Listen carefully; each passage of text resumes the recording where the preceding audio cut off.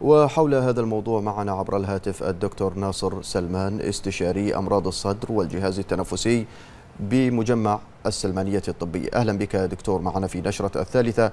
وبداية لو تحدثنا عن مشروع افتتاح عيادة الربو الشديد بمجمع السلمانية الطبي وعليكم السلام ورحمة الله. طبعا نشكر تلفزيون البحرين على الاستضافة. طبعا مشروع افتتاح عيادة الربو الشديد بمجمع السلمانية الطبي يمثل نقلة نوعية في خدم في خدمة المواطنين والمقيمين في المملكة.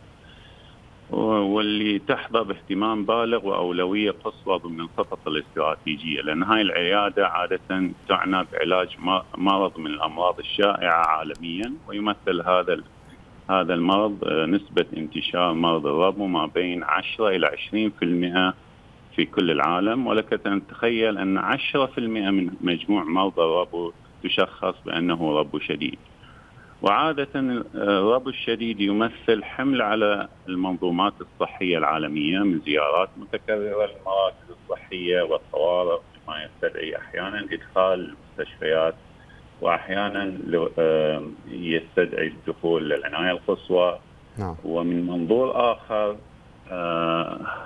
ارتئينا آه، بمساعدة آه، المستشفيات الحكومية وبتوجيهات من القيادة آه، والدكتور أحمد الأنصاري في أن نفتح هذه العيادة لخدمة هذا هؤلاء المرضى.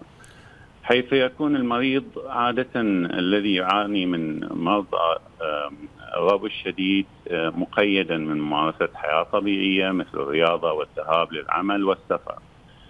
طبعا لا شك إن هذه الخدمات شاملة آه، تشمل المواطنين والوافدين آه، بحيث يتم تصنيف الحالات عن طريق استشاري صدر المتخصصين في أمراض الجهاز التنفسي نعم. وبعدها يتم استبعاد بعض الأسباب التي تعوق السيطرة على أعراض الربو مثل التشخيص الخاطئ والاختناقات الليلية واحيانا يكون السبب وجود أمراض مصاحبة تجعل السيطرة على الربو صعبا مثل تحسس الجيوب الأنفية ومشاكل المعدة والسمنة المفرطة ونؤكد من أن المريض لا يتناول ونتأكد عادة أن المريض يتناول كل عقاقيره والبخاخات بشكل صحيح.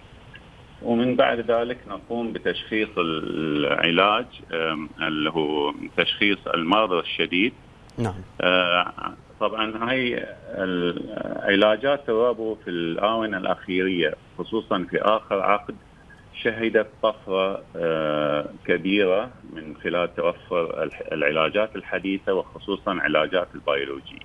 نعم. وهذه العلاجات آه، تحتاج إلى آه، عدة دراسات مثل أشعة وفحوصات مجهرية آه، وهذه العلاجات البيولوجية عادة غالية الثمن ولكن بفضل الله وبفضل القيادة تم توفير كل هذه العلاجات في مجمع السلمانية الطبي ونفتخر بتوفير هذا العلاج وبالمجان لجميع المرضى البحرينيين.